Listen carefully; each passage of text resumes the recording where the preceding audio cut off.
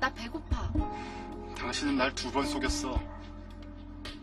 배신했다고. 어떻게 해야 내 말을 믿겠어? 믿어줘. 좋아. 그럼 오늘 여기에 있어. 앞으로 집에 가지 마. 애처럼 굴지 마. 나보고 이런 데서 평생 동안 살려고? 날 데리고 살려면 대책이 있어야 할 거 아니야. 난 이런 데서 못 살아. 출장 갔다 와서 연락할게.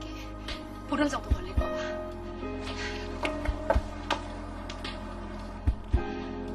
사랑해.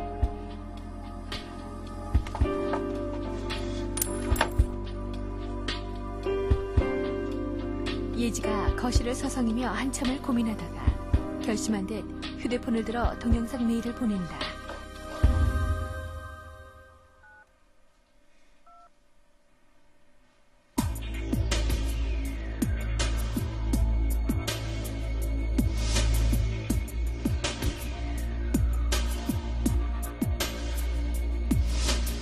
정식이 휴대폰으로 동영상 메일을 확인해보면 민기와 수빈이 키스를 하며 행복해하는 모습이다.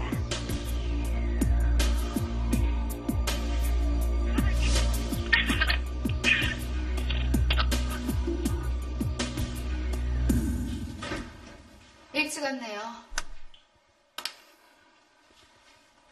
아버님은 어때? 괜찮아요. 안정 취하는 거 보고 오는 길이에요. 그거 이상하군. 병원에 갔는데 장인어른 이름으로 입원한 환자가 없던데. 그때 그 남자 말이야. 김민기. 당신하고 무슨 사이야? 무슨 얘기예요? 내 핸드폰으로 아주 이상한 동영상이 하나 들어왔는데 말이야. 당신하고 다정하게 키스를 하고 있더군. 말해보지.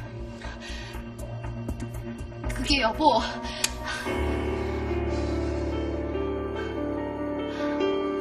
당신이 나 때릴 자격 있어? 당신도 여자 많잖아. 그걸 변명이라고 해?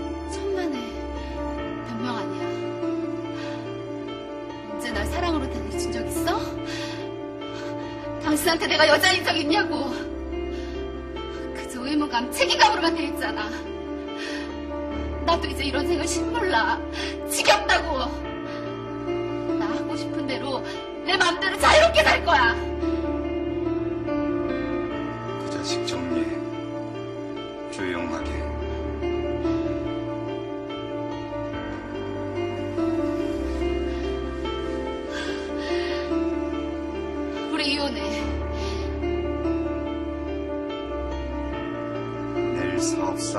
중요한 출장이야. 준비 잘해.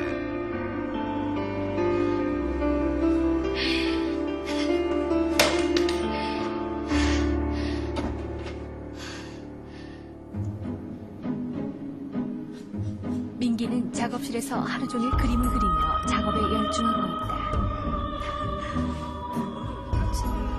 예지는 그런 민기 옆에서 지치지 않도록 힘을 실어준다. 민기가 의자에 앉아 자고 있을 때 예지가 살며시 다가가 이불을 덮어준다. 그때 민기가 예지의 손목을 잡으며 뜨거운 눈길로 쳐다본다. 민규 씨!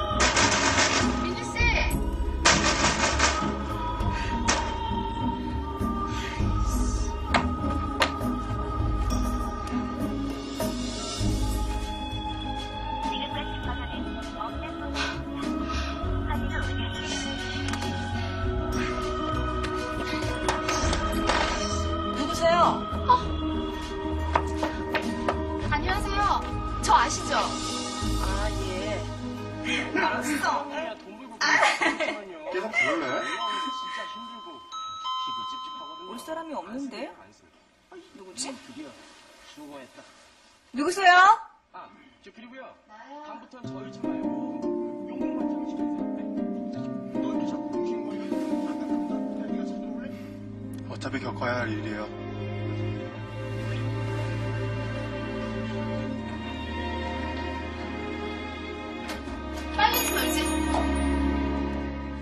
당신 왜 여기 있어?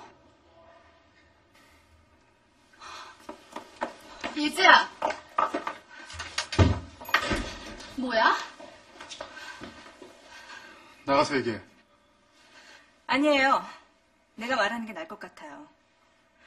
잠깐 나가 있어 줄래요? 도움 필요하면 연락할게요. 민기 씨,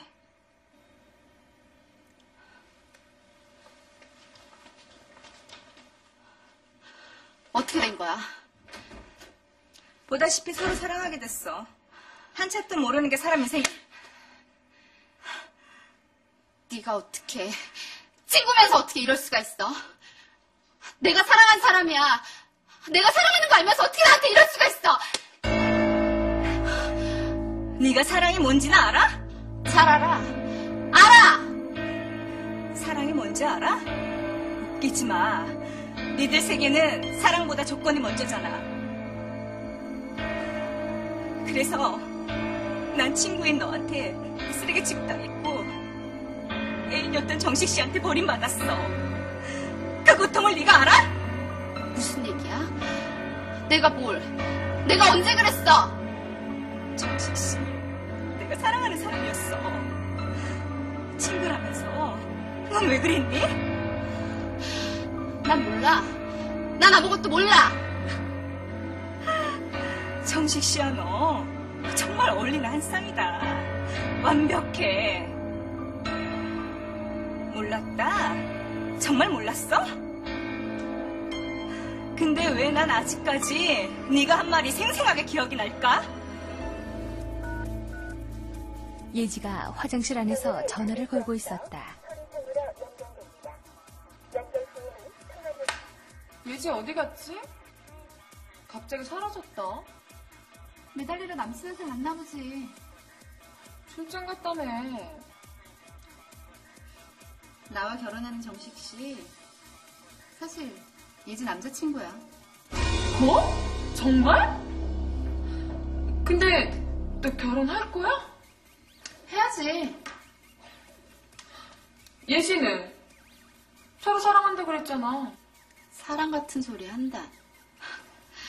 예지가 우리한테 살살거리는 이유가 뭔데? 우리 팀에서 신분 상승하겠다는 거잖아. 호박에 죽은다고 수박으로 보기나 하니? 주제도 모르고. 하긴 밖에 그런 애들 셌잖아. 요즘은 남자들이 더 현실적이야. 그런 애들 가끔마다 버리는 거 한순간이라고. 그래도 말해야 되지 않나? 친구잖아. 됐어. 걔도 쓴 경험을 해야 정신 차리고 주제 파악하지. 나가자.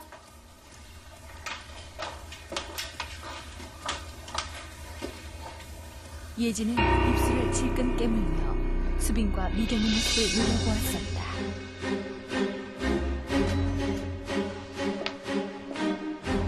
수빈이 멍한 표정으로 오피스텔을 나온다. 민기 씨, 당신이 쟤한테 속은 거야.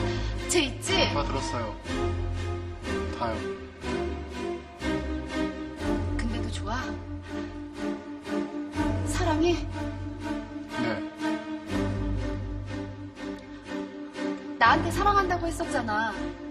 그거 거짓말이야? 해달라는 거 다 해줄게. 집도 사주고 차도 사줄게. 갤러리도 내줄게.